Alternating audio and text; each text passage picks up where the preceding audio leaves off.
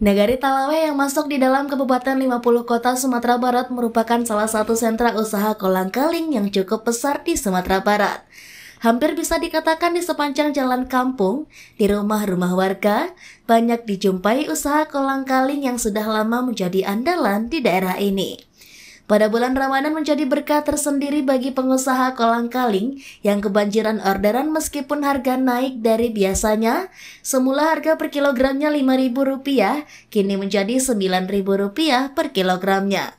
Pada hari biasa, pesanan kolang-kaling 1-3 ton per hari, namun pada bulan Ramadan pesanan per hari 5 ton hingga 10 ton per harinya. Kolang-kaling asal Jarang Talawe ini tidak saja untuk memenuhi kebutuhan Sumatera Barat, provinsi tetangga seperti Sumut, Riau dan Jambi, bahkan selama Ramadan juga rutin mengekspor ke luar negeri seperti ke Malaysia, Brunei Darussalam, Thailand, dan juga Vietnam. Meski kebanjiran pesanan, pengusaha rumahan ini tetap mengandalkan pohon aren lokal yang tumbuh di sekitar kampung.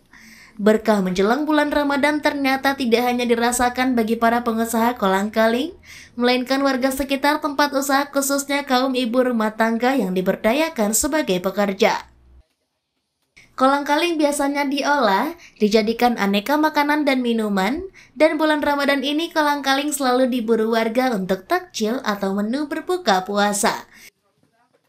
Sekarang ini melonjak tinggi, anggarannya anggaran 5 ton ke atas lah per hari. per hari ya. Per hari ya. Berapa persen kenaikan dari dari biasa dah?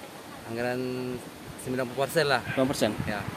Untuk harga kolang kaling sendiri ada kenaikan nggak ya? Dari ada, harga ada. dari Kalau- harga berapa sampai berapa dah? Kalau hari-hari biasa harganya 5.000, sekarang nyampe 9.000 saat Per kilo? Per kilo. Per kilo ya. Kalau hari biasa permintaannya berapa ton per hari? Berapa ton dah? Kalau per hari biasa permintaan anggaran 1 ton sampai 3 ton per hari lah. Hmm. Selain untuk Mm. Kalau Sekarang sekarang, anggaran 5 ton sampai 10 ton lah per hari.